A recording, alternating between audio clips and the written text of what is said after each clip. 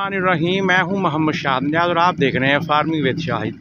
तो मेरे मजुजिन, आज मैं रैपर के ज़रिए आपको गंदम की कटाई दिखा रहा हूँ। अगर आप नए हैं तो मेरे चैनल को सब्सक्राइब कर लें और देखें, माशाल्लाह, ये एरिया है वस्ती पंजाब का।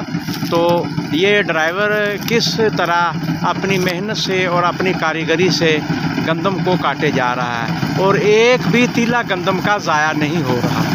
तो दिखाने का मकसद है कि मेरे वो फार्मर जिनकी गंदम खड़ी है, वो इस तरीके से गंदम को काट सकते हैं। तो ये बिल्कुल आसान और सादा सा तरीका है। इसमें ज़्यादा आपकी जो कास्ट लागत भी नहीं आती है। थोड़े ही पच्चीस तीस किलो ये एकड़ की ले रहे हैं और आपकी गंदम की कटाई बेहतरीन हो रही है। और बिल्कुल ये ज़मीन के साथ से नीचे से काट रहे हैं। तो इसमें आपकी तूड़ी भी ज़्यादा होगी और दाने भी ज़्यादा होंगे।